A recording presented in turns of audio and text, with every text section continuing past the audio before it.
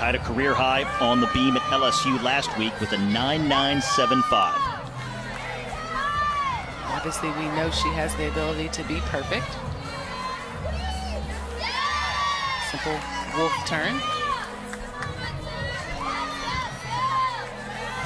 And her gymnastics is really just so flawless, so beautiful to watch.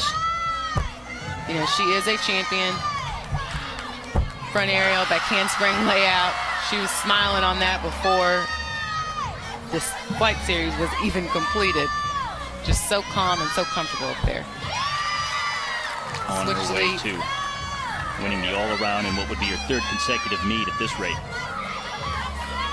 Yeah, she smashed their former all-around score at Auburn. Gainer full off the side and